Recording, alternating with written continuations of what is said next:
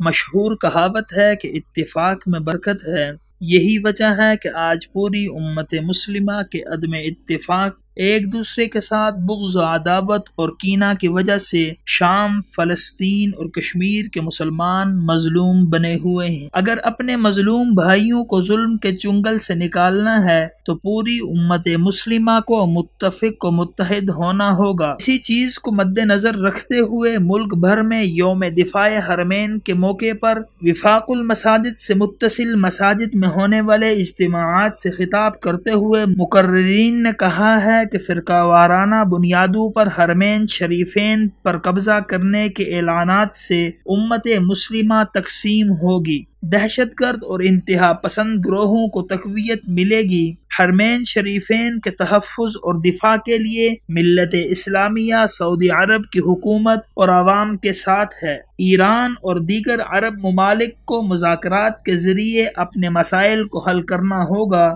انہوں نے کہا ہے کہ حوثی باغیوں، داعش اور حزب اللہ کی دھمکیوں کے بعد ایرانی رہنما کی طرف سے سعودی عرب کی حکومت کے خلاف حج سے قبل متشددانہ بیان پوری امت مسلمہ کے لیے تشویشناک ہے۔ وفاق المساجد پاکستان کے تحت ملک بھر کی چوہتر ہزار سے زائد مساجد میں ایک متفقہ قرارداد کے ذریعے حرمین شریفین کے تحفظ، دفاع اور سلامتی، حجاج کرام اور زائرین کی خدمات کے لیے سعودی عرب کی چھیاسی سالہ خدمات کو خراج تحسین پیش کیا گیا۔ اور اس بات کا اقرار کیا گیا کہ ہم پوری دنیا پر واضح کرنا چاہتے ہیں کہ کسی بھی گروہ، جماعت یا ملک کو حرمین شریفین کی سلامتی، دفاع اور استحکام سے کھیلنے نہیں دیا جائے گا۔ قرارداد میں سعودی عرب کے ولی عہد امیر محمد بن نائف، وزیر مذہبی امور شیخ صالح اور خلیج تعاون کونسل کے بیانات اور قراردادوں کی مکمل حمایت اور تائید کا اعلان کیا گیا ہے۔